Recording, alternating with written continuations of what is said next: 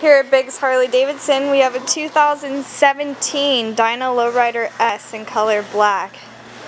The 110 cubic inch Screaming Eagle engine and a 6-speed transmission. Comes with powder coated pushrod tubes, high flow air cleaner, upgraded pegs, a cafe racer fairing, upgraded bars, all blacked out and it has only 1,965 miles. It's under 5,000 miles.